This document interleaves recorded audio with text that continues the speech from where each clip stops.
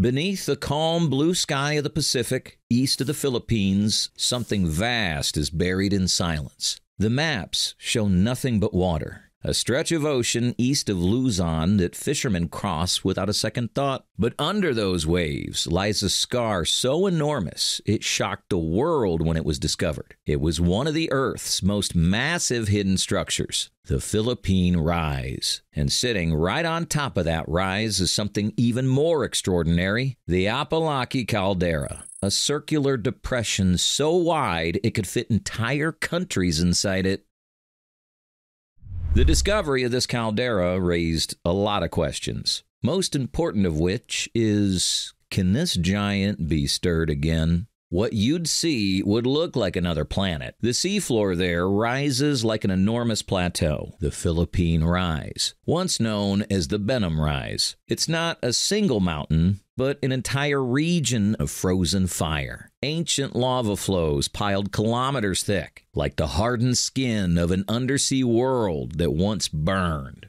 To understand the Apolaki, you have to go back nearly 50 million years to a time when the Earth was busier reshaping itself. The Pacific Ring of Fire, the horseshoe shaped belt circling the ocean, was already alive with earthquakes and volcanoes. Tectonic plates slid and collided like slow moving continents of stone. In what would later become the Philippine Sea, an immense pulse of magma surged upward from deep within the mantle. As the molten rock poured through cracks in the seafloor, it cooled layer by layer, building an underwater continent of basalt. Over millions of years, those layers grew into the Philippine Rise, an oceanic plateau as large as Iceland, rising several kilometers above the abyssal plain. But the Earth balances creation with collapse. Beneath the rise, pressure mounted until the magma chamber emptied faster than it could refill. The crust above lost its support and collapsed inward, forming a ring shaped depression more than 150 kilometers across, roughly the distance from New York City to Philadelphia, or one and a half times the size of Metro Manila. That collapse became Apolaki, the Tagalog word for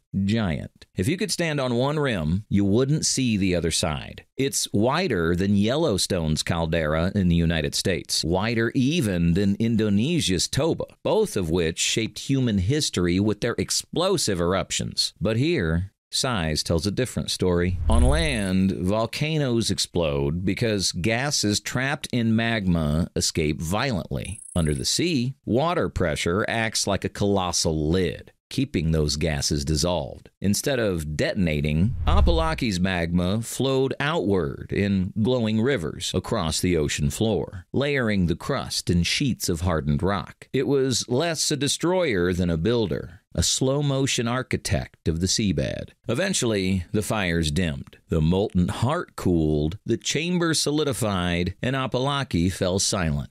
The volcano became a fossil, sealed beneath two to three kilometers of seawater. Modern studies of rock samples from the rise date this activity to the Eocene epoch, tens of millions of years before humans walked the Earth. For most of history, it slept unseen. Then, in 2019, Filipino marine scientists and their partners mapped the Philippine rise using multi beam sonar and seismic imaging, technologies that send sound waves deep into the ocean and read their echoes. The images revealed a perfect circle, terraces along the rim, and a central uplift, classic fingerprints of a massive caldera collapse. What they found might be the largest known caldera on the planet. The discovery changed more than textbooks. It deepened the Philippines' connection to this hidden frontier. In 2012, the United Nations Commission on the Limits of the Continental Shelf officially recognized the Philippine rise as part of the country's extended continental shelf, giving the nation sovereign rights over its seabed resources. Apolaki wasn't just a scientific marvel, it was proof that beneath Philippine waters lay both natural history and national heritage. The revelation also reshaped how scientists think about Earth itself. The Philippine Rise is what geologists call a large igneous province, a place where the planet once bled lava on a continental scale. Events like this have rewritten the planet's climate and chemistry before. The Deccan traps in India coincided with the extinction of the dinosaurs, and the Siberian traps may have triggered the greatest die off in history. Apolaki shows that such colossal outpourings didn't just happen on land. They happened under the sea, quietly sculpting ocean basins while life evolved above. Yet,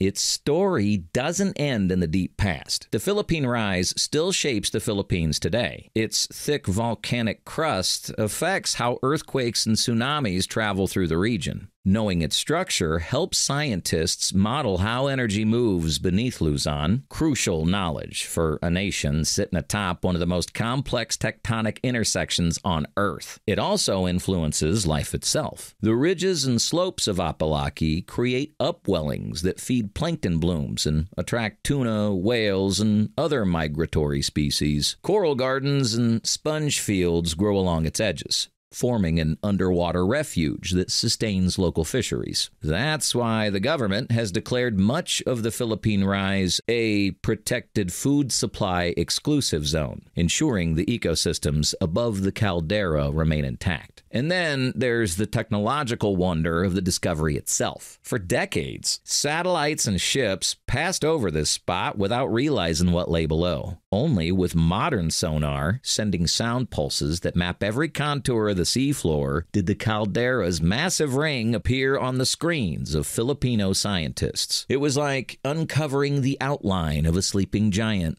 As word spread online about the discovery of the Apolaki caldera, so did rumors. Some claimed the world's largest volcano was waking up. But geologists and the Philippine Institute of Volcanology and Seismology were clear. Apolaki is extinct. No heat flow, no magma, no seismic unrest, just ancient rock. Its silence is not the calm before a storm, it's the stillness of something long finished. The mystery remains how could such an immense volcano rise, burn, collapse, and vanish without anyone knowing for millions of years? And what other giants lie sleeping beneath the waves? Their stories waiting to be found. The answer comes in the final relief. Apolaki's purpose was never to destroy, but to build. It built the seafloor that underpins the Philippines' eastern edge. It built the ecosystems that thrive today. It built data that now helps scientists predict how the Earth behaves. So when you look at a map of the Philippines, imagine this. Just beyond Luzon's eastern horizon lies an ancient scar the size of a small country, the resting place of a volcano that shaped the sea itself. It isn't a threat. It's a reminder that Earth's greatest forces don't always shout. Sometimes they whisper from the deep. And their echoes, though silent now, still hold the power to remind us how fragile and extraordinary our planet truly is. And as for that question, what if the giant stirred again? The truth is both comforting and haunting. It won't. But knowing it once did is enough to remind us that the planet we live on is never truly still. It's just between heartbeats.